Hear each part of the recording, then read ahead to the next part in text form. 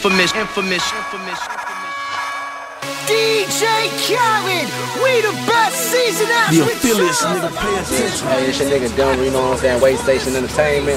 Nigga, we just ain't rappers, hood niggas, drug dealers, nothing like that. We going to the majors, but also, nigga, we, nigga, we sending these youngsters to the majors too. I'm over here with my nigga Dante Price. Niggas talk about greatness whenever they think about me. What's up, y'all? I'm Lil Dante from Austin, Texas. My side of town, Northeast, Lakeside. I'm gonna do the same thing I did last season when I was a sophomore. I'm finna just tear their ass up on the field. Let's get it. I was. I was known. Yeah, I was told, can't nobody fuck with me. Yeah. Starting running back. Starting running back, baby. Wide receiver slot, quarterback at that. I can play anything you want me to play. I'm live. I'm live. Yeah.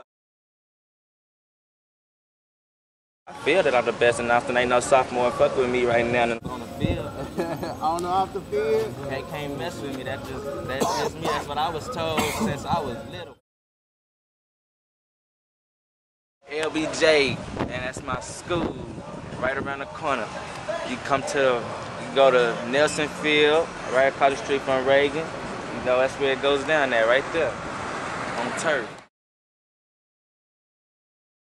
Y'all just interviewed the best running back in Austin, Texas. Even in the state house, but I feel like Dante Price. Y'all just come check me out. The Prime Minister Young Jeezy, nigga.